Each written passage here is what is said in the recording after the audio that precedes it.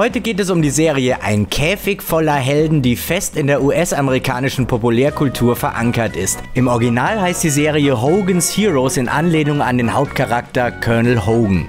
Die Pilotsendung wurde übrigens in Schwarz-Weiß gedreht und danach entschied man sich dann, die Serie in Farbe fortzusetzen. Hauptdarsteller Bob Crane, der den Colonel Hogan spielt, ist privat ein Jazz-Schlagzeuger und er ist auch tatsächlich bei der Titelmusik an den Drums zu hören. Worum geht es? Nur knapp 20 Jahre nach dem Ende des Zweiten Weltkriegs kam man auf die glorreiche Idee, eine Comedy-Serie zu produzieren, die in einem Kriegsgefangenenlager spielt. Nicht zu verwechseln mit einem Konzentrationslager. Tja, und da werden die Nazis kräftig aufs Korn genommen. Sie haben sehr viel Geschmack, äh, die Einrichtung hier. Naja, barock als Gelsenkirchen nicht, aber fürs Büro reicht's. Der Schreibtisch zum Beispiel ist zu niedrig. Aber man bewilligt mal keine höheren Beine. Sowas schmerzt an den Knien. Die Gefangenen unter dem Kommando des ranghöchsten Offiziers Colonel Robert Hogan von der US-Armee gelingt es, eine Art Untergrund-Zweigstelle zu errichten. In ihrem geheimen Tunnel haben sie so allerhand Annehmlichkeiten, wie zum Beispiel eine Sauna, wie man hier in der Pilotfolge sehen kann. Brauchen Sie vielleicht einen Haarschnitt? Hier gibt's doch wohl keinen Friseur. Sie gehen in dem Lager ein und aus, wie es ihnen gerade passt, und verrichten im Auftrag Londons Sabotageakte. So, dann fangen wir mal an. Lebeau, du hältst Wache. Niemand wird rein oder rausgelassen. Carter, setz den Laster zurück und lass den Motor laufen. Der Rest kommt mit mir. Nebenbei schleusen sie auch den ein oder anderen Gefangenen aus dem Lager. Tja, und das alles passiert unter der Aufsicht des naiv schusseligen Lagerleiters Colonel Klink. Morgen hat doch Ihr Boss Geburtstag, nicht? Ja. Und ich wollte fragen, ob Sie uns zur Feier des Tages zwei Stunden extra elektrisch Licht für die Quartiere genehmigen würden. Hm, damit ihr euren Fluchttunnel zwei Stunden länger graben könnt, nicht ja? Den Tunnel haben wir schon fertig. Wir arbeiten jetzt am Fahrstuhl.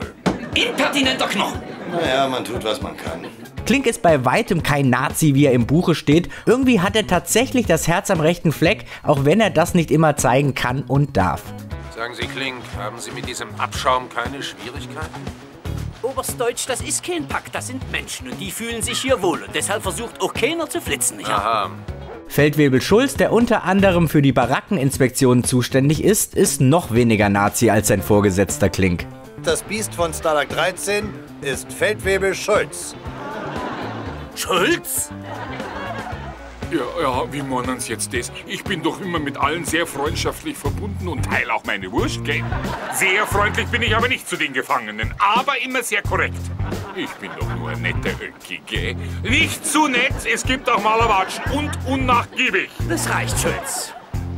Schulz, den gutes Essen mehr interessiert als Disziplin im Lager, wird von Hogan und Co. derart manipuliert, dass man fast meinen könnte, er ist auch Teil des Untergrundes. Hier geht doch schon wieder irgendwas vor, Colonel Hogan. Ich fühle das doch genau und deshalb werde ich der Sache auf den Grund gehen. Schulz, Sie eine Frau kann Sie doch nicht tangieren. Sie sind doch immerhin verheiratet. Na, ich seh nix. Ich seh gar nix und hören tue ich auch nix. Gar nix. Die Serie wurde zunächst unter dem Namen Stacheldraht und Fersengeld synchronisiert, aber floppte total. Und dann wurde Synchronlegende Rainer Brandt gerufen, um den Karren aus dem Dreck zu ziehen. Und das ist ihm auch sehr gut gelungen, denn er machte die Serie dann auf Deutsch noch witziger als im Original. Und das ist wirklich eine unfassbare Meisterleistung. Er fand Figuren, die es im Original gar nicht gab, wie zum Beispiel Colonel Klings Wirtschafterin Karl Linke, mit der er auch eine Affäre gehabt hat. Also nicht Rainer Brandt, sondern Klink natürlich. Er erwähnt sie oft, aber natürlich sieht man sie nie, denn sie existiert ja gar nicht. Wenn Sie mir helfen, vermache ich Ihnen meine Briefmarkensammlung und meine Wirtschafterin, meine Kalinke. Die gibt's gratis dazu.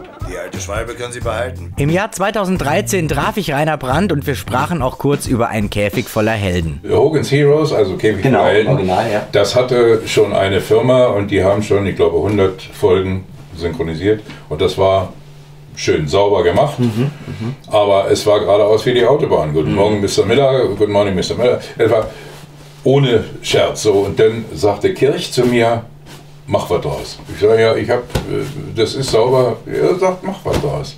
Dann kam Ja, was soll man Halinke ins machen? Spiel. Und, Ne? Dann, äh, ja. Äh, soll ich dir reden oder willst du? Entschuldigung, ich wollte nur. Ne, Also die, ähm, die äh, Form war eigentlich, äh, dass er sagte, Kirch, wir müssen das Ding zum Laufen kriegen. Und da habe ich gesagt, ähm, in, in, Amerika hast du, die arbeiten viel mit ihrem, mit dem Akzent. Man merkt, der ist aus Georgia, der ist aus dem Süden, der kommt aus New York. Und äh, wir haben ja auch hier unseren Slang, sächsisch, und wir haben berlinisch und so. Kann man das machen? Er sagt, mach, du hast Plan Pouvoir, du mach, was du willst. Und dann bin ich darauf gekommen, weil ich habe mir den Klemperer angesehen, dieser wunderbare Schauspieler. Der Klemperer, ja. Und äh, da dachte ich, der ist wunderbar, wenn der also das Sächsische hat. Ne, und das haben wir den Sächsischen. Dann kam dieser dicke Spieß und der schrie danach, ein Bayer zu sein, also so richtig ja, urbayerisch. Und so haben wir die ganzen Dinger dann gemacht. Und dann ähm, dementsprechend die Texte völlig verändert, weil es äh, waren Geschichten drunter, wo die über England, die, die Deutschen über England im Original-Story äh, äh, irgendwas Giftgas abschmeißen. Mhm. So, und da haben die gesagt, das können wir nicht machen. Natürlich können wir das machen. Die haben dann über den Engländern, über, den, über England äh, Verhütterli abgeworfen, damit sich die Engländer nicht mehr vermehren könnten. Ja, also es ist völlig überhochmetzter Unsinn, aber dann, so ging es und so haben wir es gemacht.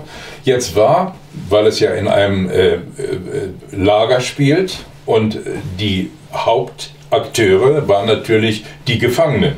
Hogan, der mit, mit seinen vielen. Truppe, ja. Und äh, jetzt wurde das äh, Gewicht aber völlig anders, weil die so komisch waren vom Lager, die ganzen Typen, dass wir die wieder ändern mussten, wieder hochheben mussten.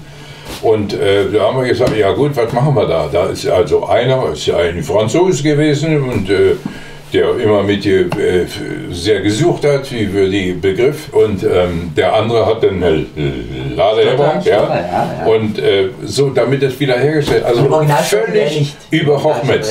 Also no, gar nicht, gar nicht. Das, alles das, überhaupt, das hat nichts zu, das ist eine andere Galaxie. Wahnsinn, Wahnsinn. Brandt synchronisierte ein Käfig voller Helden Anfang der 90er Jahre zur gleichen Zeit wie die Serie Mesh und daher haben auch viele Darsteller die gleichen Stimmen. Das ist natürlich sehr aufgefallen, denn ein Käfig voller Helden Helden und Mesh lief Anfang der 90er Jahre hintereinander auf der Kabelkanal. Hier eine kleine Gegenüberstellung von ein paar Stimmen. 4077 Mesh, Corporal O'Reilly. Hey Sparky, wie geht's dir denn? Wie läuft's denn so im Hauptquartier? Ich mache mal so, als ob ich ein Foto mache. Aber da ist nicht zum Fotografieren in der Kamera, sondern eine 37er Kanone, eine abgesägte. Das blubbert so schön. Nein, Sie reden nicht zu schnell, Flatt. Überprüfen Sie noch mal die Liste. Dass wir auch nichts vergessen haben. Sieht aus wie ein Splitter im Rückenmarkskanal. Wenn ich da reingehe, können wir in 24 Stunden nicht transportieren. Aha, die Drähte sind alle durchgeschmort und aha, ich kann es nur reparieren, wenn ich eine neue Leitung in Klings Büro legen kann. Nur militärische Ausrüstung. Die Halsspirale ist aus dem Munitionslaster, der Trichter ist aus dem Generatorenhäuschen und der Filter ist eine zerrissene Unterhose. Und wo wir schon mal so schön bei Mesh sind, der Darsteller des Father Malkay, William Christopher, ist auch das ein oder andere Mal bei Ein Käfig voller Helden aufgetaucht. Oberst, wir filmen alle Kriegsgefangenenlager. Für das UFA-Archiv. UFA? Wo die ganzen Filmstars sind? Kennen Sie denn welche von denen? Gestern filmte ich Clara Zylinder. Ja, mein Zara Leander Berlin hat ihn etwas vernebelt. Ein Käfig voller Helden von Al Ruddy und Bernard Fine brachte es auf 168 Folgen in sechs Staffeln und wurde von 1965 bis 1971 produziert.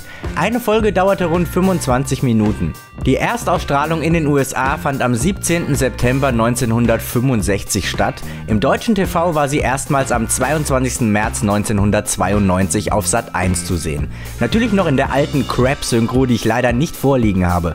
Falls der unwahrscheinliche Fall eintreffen sollte, dass ein Zuschauer eine Folge mit der alten Synchro vorliegen hat, dann würde ich mich natürlich privat sehr freuen, wenn er sich im Forum melden würde. Schon mal ganz herzlichen Dank dafür. Massengeschmack TV. Gleich anmelden und 14 Tage kostenlos testen.